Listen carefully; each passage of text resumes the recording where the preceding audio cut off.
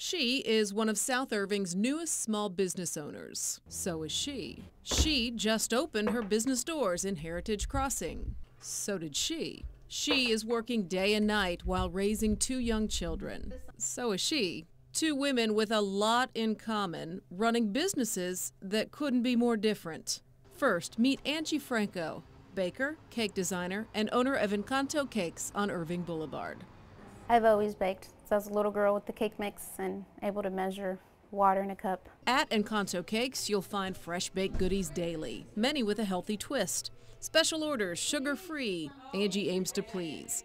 A relative has even set up a boutique in the bakery. Both are thrilled to call Heritage Crossing home. There's plenty of bakeries in Dallas. They're saturated. Um, North Irving as well, but South Irving, we were lacking a bit. And um, I saw the opportunity. I know the redevelopment that's going to happen here in the um, Heritage District. I'm really excited for that. And after you meet Angie, you should probably head next door. There you can burn off those calories and meet Lena Eberling, police officer by day, fitness enthusiast and Chubby's gym owner by night. There's no other gyms that are down here um, in this part of Irving, and I just love the Heritage District and the old, um, old downtown. is just like you're in a small town again. And so um, there's a lot of big gyms that are in this area, but not any smaller gyms. So it, it, it, it really has appealed to people that like the smaller, more personal gyms. Despite their very different businesses, these women are very supportive of each other and are both thrilled to see their business dreams coming true in the Heritage District.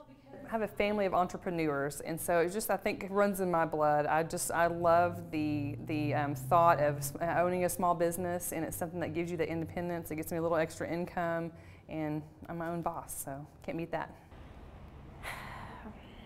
Being Latina and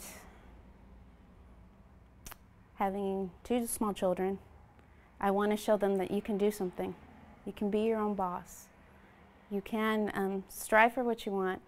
There was no way that I had an idea when I, I never envisioned myself having my own business. And now with the Hispanic Chamber, um, that's happened. And I want to show that to my kids.